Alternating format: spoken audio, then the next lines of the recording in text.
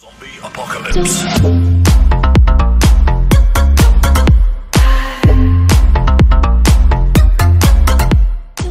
What is up, guys and gals? Space Unicorn here, bringing you some hot frag action. So today, what we are doing is we are going to play the new Epic Card Challenges. This particular one being the Smoker Challenge. We're going to see if we can get these cards, get some dubs for you guys real quick, hopefully not lag everywhere, and maybe give you a couple little tips for any time you face an Epic Card Challenge. So here we go. Give me my opponent.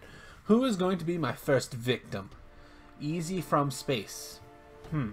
Is that? Here's the thing. I from what I have heard, bots don't spawn in these arenas supposedly.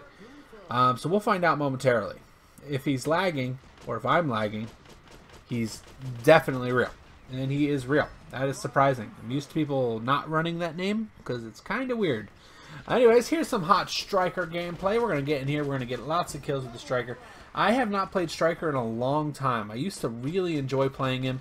Um, and he's just always been fun to me. And he's just a fast, well, fast card with a lot of potential, guys. That's all I can tell you about Striker. We're going to sit here, we're going to pound this tower, guys. So one thing you want to note, anytime you do a challenge series like this, the decks are randomly generated.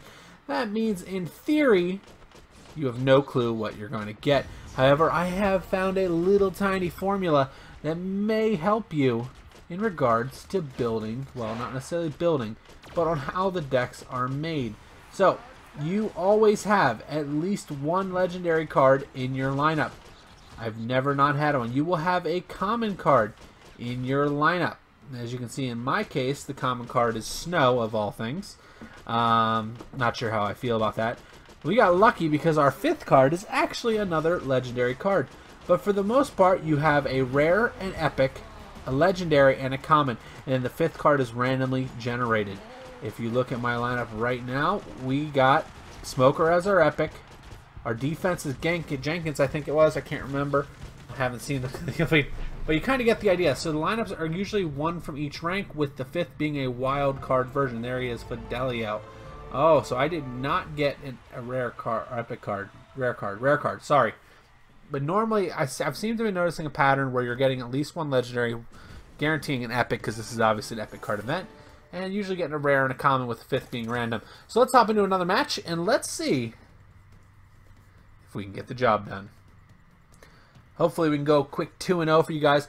This video is kind of a last minute thing. I have a video I'm editing up for the rankings, so this is something I want to do for fun, just to hang out with you guys, give you guys something to watch. Hopefully this is an enjoyable video. Look at that ping. Let's uh, let's try a queue up again. What do you guys think? um, oh, connecting. That's that's lovely. Uh, can I play now, please? Thank you.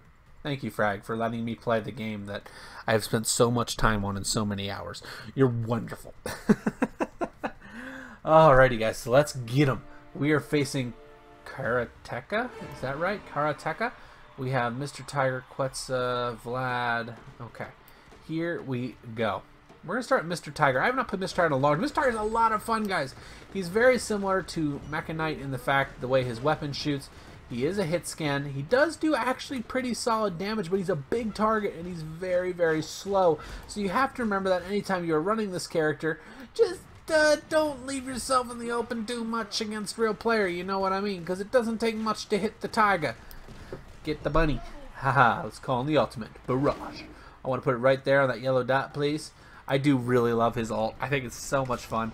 It's a little tricky sometimes to place it correctly. Imagine if this guy had Soldiertron's AI accuracy, because his ult is actually faster than Soldiertron's.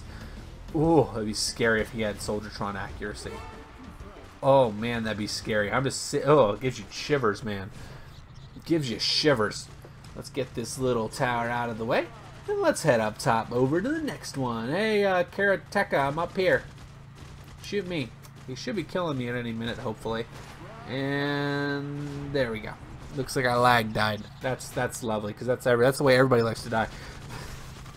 Let's grab Quetzal. So guys, this this is a fun challenge. If you guys have not participated in these challenges, I would strongly recommend doing it. It's a good chance to earn a lot of gold and lots of different rewards that you'll find yourself needing as you start to level up in this game. Um, if you are low level, these events honestly should be a must for you. They'll give you cards that you haven't had the chance to play with, get a feel for, and experience. It's also going to give you the chance to play people on an even playing field. That's something I really love. I love the fact that all the cards in these events are level 9, and that just makes it super, super enjoyable for me. Um, for those guys don't know, if you guys never played a tournament, always in tournaments your cards are level nine. They're not ever what you bring to the party. So it's it's something to kind of keep in mind. Just kind of enjoying enjoy the fairness of it. Like honestly, the get the decks can be a little lopsided sometimes, um, but you really do have the ability to just enjoy playing on equal footing with somebody else in these events. Um, yeah. Anyways, we're back on Mr. Tiger here. We're gonna push up here and see if we can sneak him into position here to do some work. Ugh. I'm doing something very disgusting with my aim, if you guys can't tell. Uh, I'm actually aiming high because I played Poka earlier today. So I'm aiming high because of it. I shouldn't be doing that, I'm afraid. Oh no, lag spike, lag spike, lag spike. No, go away. No! How did he get me? I was lagging everywhere. Oh no. That's sad. That's sad right there, guys. Let's grab Quetzal again. Uh, why are you staring at him? I want you to go this way. There's a tower over here with your name on it, Quetzal. That's right, your name. Just sneak over here, you know, tiptoe, tiptoe, tiptoe. Up here, and kabam! There goes the tower. So, guys, I think I'm going to end this, win this game here, and I think that'll be the end of the video for the day. Um, I hope you guys enjoy this, and hope you guys have a lot of fun with these events. I know I do. So remember, guys, stay safe, like, comment, subscribe, and down there. And I will see you legends in the next one. Have a fantastic day, everybody. Bye-bye.